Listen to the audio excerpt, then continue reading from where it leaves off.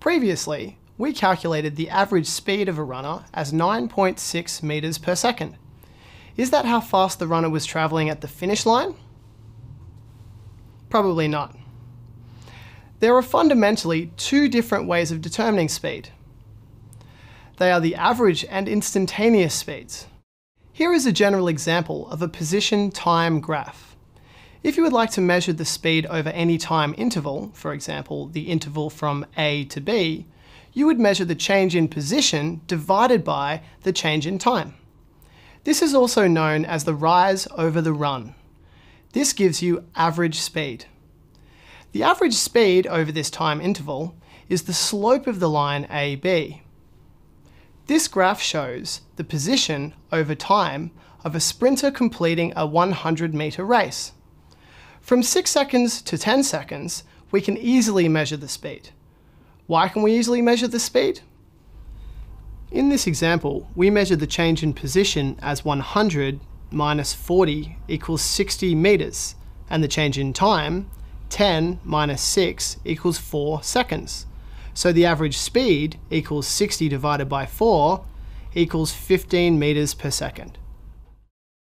Understanding the graphical representation of the data helps us understand the difference between the instantaneous and average, and helps us calculate how fast our runner is at the finish line. How do we find the speed when it's not a straight line? There are two ways. There's the average speed over a time interval, which is the distance over time, as we have learned. Or we could find the speed at a particular instant. How can we do that?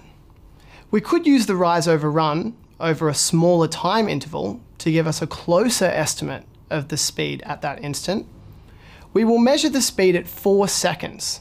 For example, if we wanted to measure the average speed at point A, we draw a secant to the curve from point A to point B.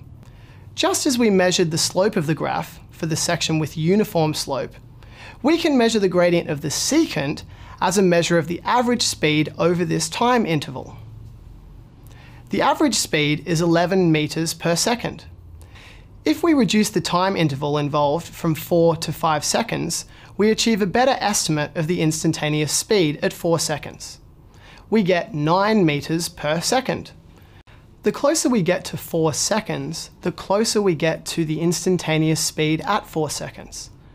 As B is moved close to A, the slope of the line AB is approximately the same as the gradient of the tangent drawn at A. We will use the tangent to the curve at a particular time to tell us the instantaneous speed at that time. Here's an example of how to find the instantaneous speed at 4 seconds. Draw the tangent to the curve at 4 seconds. Extend the tangent across the graph. Draw a right-angled triangle with the tangent as the hypotenuse. Measure the rise and run on the triangle and use the formula speed equals distance over time to obtain your instantaneous value in meters per second.